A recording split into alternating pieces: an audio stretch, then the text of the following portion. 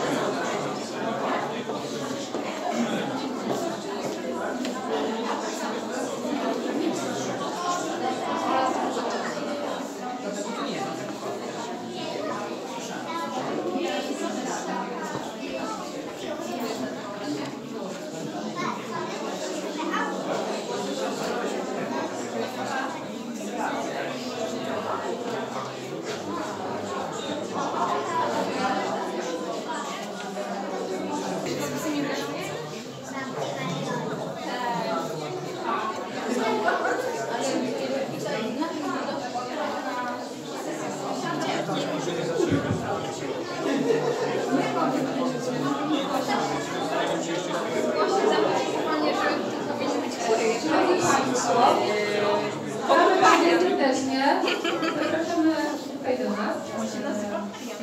Nie większość z Państwa już pracę widziała.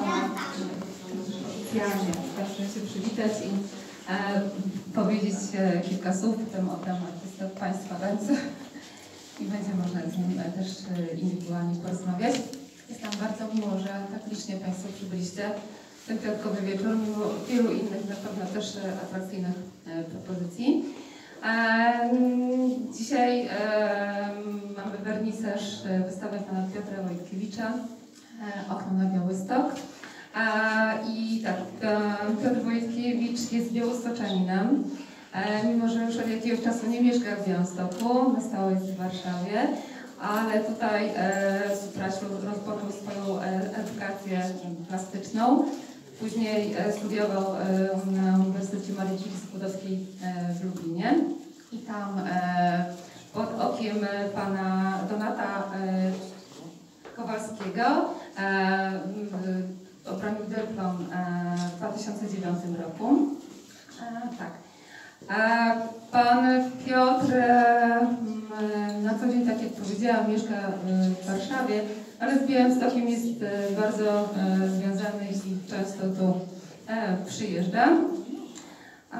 Co, o czym też jakby mówią te prace, które Państwo możecie tutaj zobaczyć.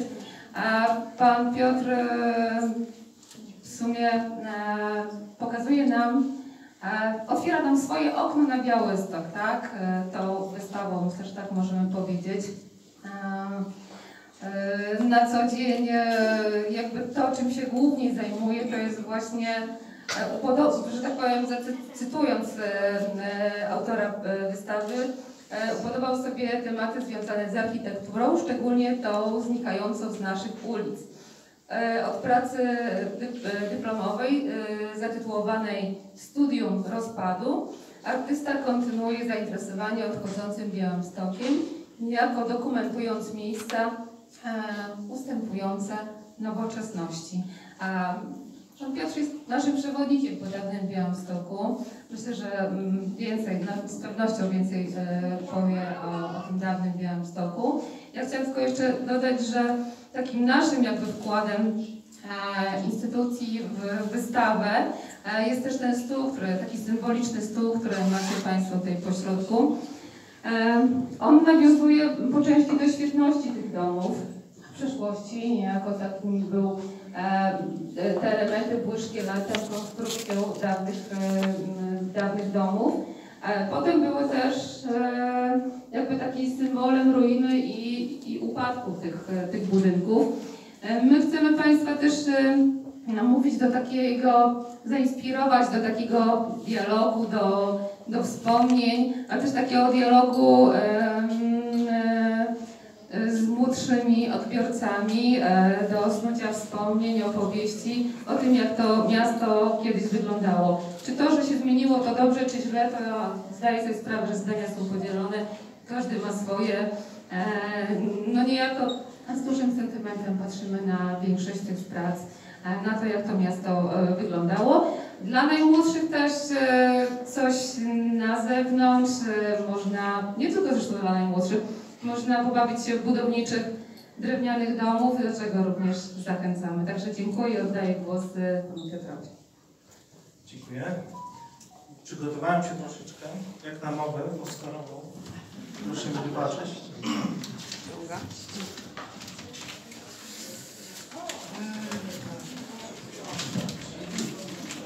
Brzmiało chaotycznie, mam pewien plan. Więc najpierw dziękuję Państwu za przybycie w ten wieczór.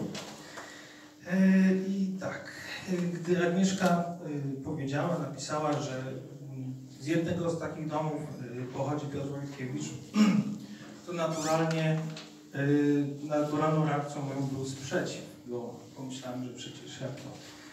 Ja jestem z bloku, potem mieszkałem e, z rodzicami na ulicy Grunwaldzkiej w miarę nowoczesnym domu.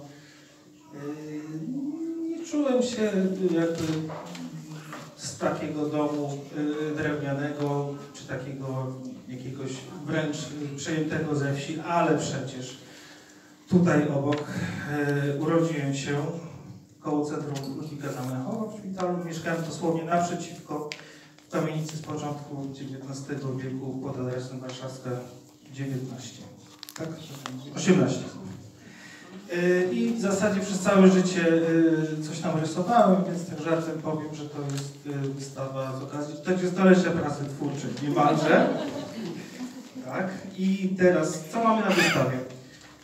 Jedną z najciekawszych prac tutaj jest to obraz ten w technice akrylowej. On był na moim dyplomie w 2009 roku i wisi tutaj dlatego, żeby pokazać, że Białystok to nie jest jakaś tam y, moje zainteresowanie sprzed nie wiem, roku, dwóch, tylko ciągnie się nieco dłużej i już na tej pracy y, jest to Białystok, chociaż może nie widać na pierwszy rzut oka.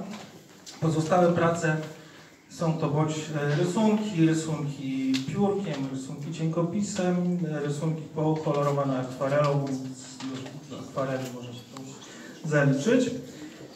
Y, I teraz tak.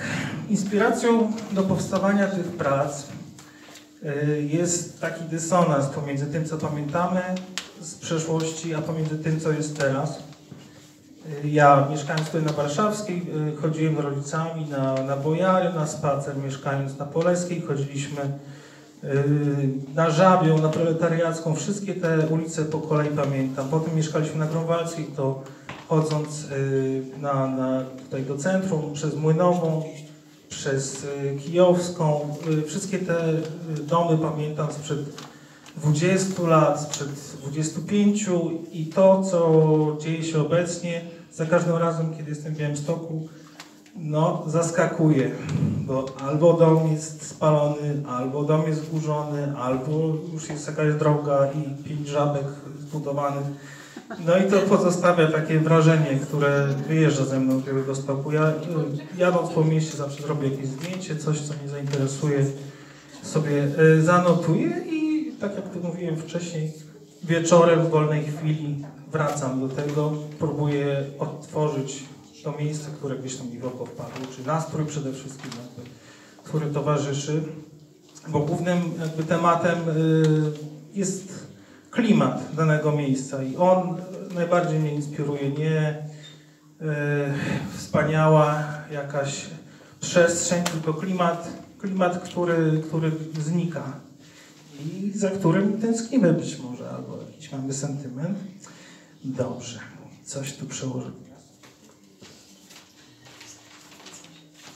I jeżdżąc przez Białystok, y, wygląda on nieco jak y, gotowa scenografia y, filmowa, bo są, są miejsca, gdzie naprawdę można by jeszcze o Hanajkach jakiś film nakręcić, o jakichś tam bandytach przedwojennych, to jest, to jest fajne, tylko szkoda właśnie, że, że to zanika. I na tych swoich pracach ten klimat, te miejsca próbuję zachować, tak jak kilku artystów przede mną, tutaj na przykład Henryk Wilk, e, Jerzy Lęgiewicz, Władysław Pietruk, także to są tacy e, takie może inspiracje troszeczkę, chociaż e, no, staram się jakiś tam swój, swój styl osiągnąć. Mm, Dobrze, o klimacie powiedziałem. Mm, Czasami posiłkuję się archiwalnymi zdjęciami z internetu. Jeśli zobaczę jakieś fajne miejsce, zastanawiam się, czy jak wyglądało kiedyś, jak wyglądało w kolorze, wtedy, kiedy jakby żyło i próbuję je pokazać na swoich pracach. Niekoniecznie z ludźmi, bo nie chodzi o sceny rodzajowe, tylko raczej o konkretny y, jeden budynek i jakąś moją relację, czy widzę relację z tym budynkiem i to próbuję pokazać. Czasami y, znajduję budynek, który jest już zawalony, y, zniszczony. Próbuję wtedy odtworzyć go ewentualnie, dodać jakieś brakujące okna czy drzwi. Szukam y, historycznych y, zdjęć danego miejsca, ewentualnie w mapach Google się gdzieś cofam, jak to mogło wyglądać wcześniej. I to są jakieś materiały, które y, wykorzystuję, ale w większej ilości to są po prostu moje zdjęcia, które gdzieś tam sobie wieczorową porą opracowuję. I coś, cóż mógłbym powiedzieć jeszcze? Y, Taka myśl mało odkrywcza może, że Białystok y, nie ma starówki jako takiej, co się zdarza w innych y, miastach. I zabytki, które mamy w Białymstoku są no, rozstrzelone po całym mieście, więc, a jeśli nawet są, to są nieraz w takim opłakanym dosyć stanie, więc ja próbuję to zebrać, jakoś odtworzyć, nie wiem, dla siebie, no głównie to dla siebie malowałem do tej pory, dlatego te prace nie są y, nacechowane jakąś taką myślą przewodnią, tylko trochę do szuflady, ale szczerze i autentycznie mam nadzieję. Hmm, dobrze, to pomi- pominiemy już, czy to jest dobrze, czy to jest źle, że tak się dzieje, to już każdy odbiorca niech sobie sam pomyśli. E, Dziękuję Centrum Zamenhofa za wystawę, dziękuję Tobie za pomoc w organizacji, no i dziękuję rodzinie za wsparcie przez te lata wszystkie. Dziękuję Państwu i zapraszam.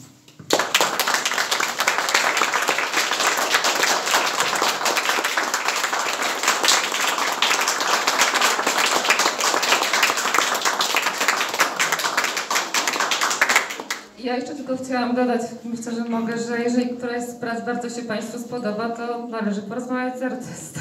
Tak, koniecznie.